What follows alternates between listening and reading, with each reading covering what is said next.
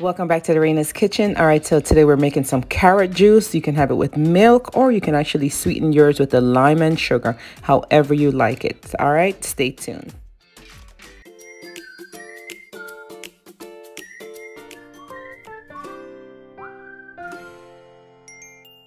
All right, so let's get started. Right here, I have a Guinness.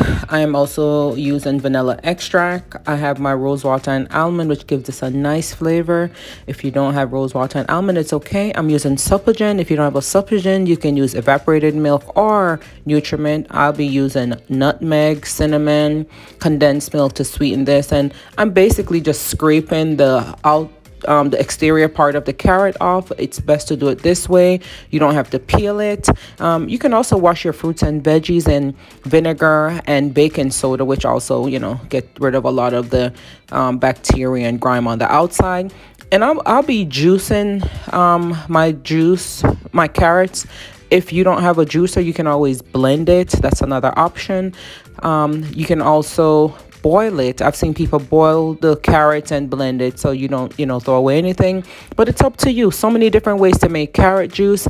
And what I love about this um Omega juicer, it's actually a low speed juicer um, it's um MMV 700S series mega mouth. You don't have to cut the fruits and veggies up too small. Just cut the ends off and you know cut it however you'd like to cut it and then just drop it right in. So that's all you're basically doing. All right.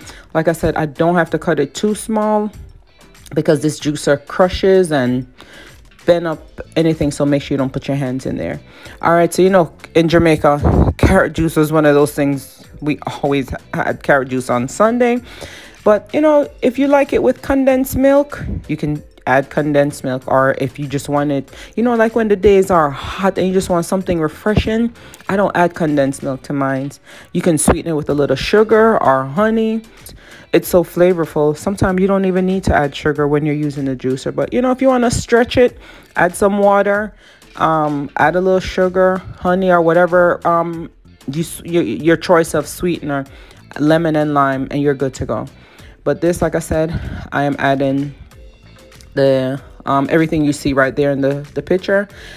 And um, yeah, we're gonna just move along right from here. Pair it up with whatever delicious Sunday dinner you want to put it with. All right, so that's up to you.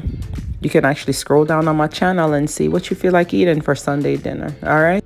And use your discretion when you're cutting up these carrots. I'm a professional, so make sure if you can't cut it in your hand, put it on a cutting board. I don't want nobody messaging me, tell me they lost a finger or hand trying to cut the carrot up in their hand, okay? All right, so I got everything washed, cut up, just dropping in my juicer. Um, see how big they're going in? And like I said, the juicer, it does it all um, for you. Just make sure you don't push your hands on there because it'll grab that too. All right, so there it is. It's just slowly processing everything and just extracting all the goodness. And you don't have to throw away the, the pulp. You can actually put it in your favorite bacon dish, like if you're making a, a carrot cake or um, just put it as compost in your backyard is what I do sometime. So it's up to you. All right, so nothing goes to waste. We're not for throw our dash with nothing. All right right, I'm just gonna show you a few more so you can see how the juicer just extract all the goodness. And like I said, if you want some of the roughage, you can even eat it. Um, you know, we used to eat um, the coconut trash with sugar growing up. The same thing. You can eat the um, you can eat the carrot um, for the fiber if you don't want to throw away the pulp. Okay. All right, and there it is, releasing all of the goodness. Look at that, how beautiful that is. Oh my God, tastes so good. This is so delicious. And like I said, it's so refreshing. Um, you can actually drink it as is. I'm outside juicing, so I'm just using my hose to wash off my um, cutting board. All right, so just getting a bigger picture because this um, gave me actually um, about four cups of concentrated carrot juice is what the two pounds of carrot gave me. All right, so gonna add the Guinness. And you know, with Guinness, when you're pouring Guinness, if you tilt, tilt it, it doesn't fraud up and overflow. So that's, you know, we learned that growing up because I used to always see my parents pouring Guinness and adding um, you know to the the carrot juice but it's optional. If you don't want to put any alcohol in it it's, it's up to you. Um, i'm gonna add the Supligen. And like i said if you don't have access to Supligen you can use nutriment. That's a nice replacement. And you can also use um, if you don't have nutriment or Supligen just use evaporated milk. All right there's a vanilla extract.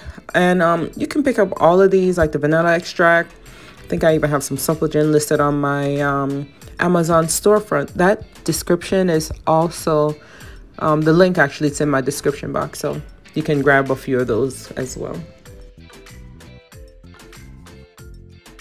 All right, and I'm dropping probably about a half a teaspoon of cinnamon, not too much. Don't want the cinnamon to overpower um you know it's a cinnamon powerful already. All right so not too much cinnamon. And i'm gonna put some nutmeg. I always have fresh nutmeg on hand. Let me grab one of these out the jar.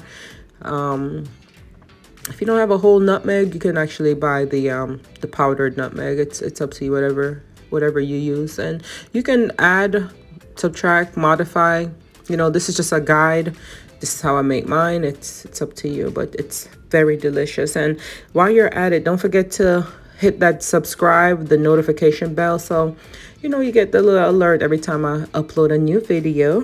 All right, and uh, make sure you are following me on all the platforms. I'm on Instagram at the Raina's Kitchen. I'm on TikTok. Um, you, I'm also on Facebook, Twitter. Pinterest. All right, I have some great things coming, and make sure you follow me on Amazon as well. All right, and share with um, share these videos with your friends and family, so you know get some great cooking ideas and you know bring in something different every time we upload. All right, so thank you for um, watching as always. There it is. Everything is nice and fresh and delicious and enjoy your day. See you on the next video. Bye.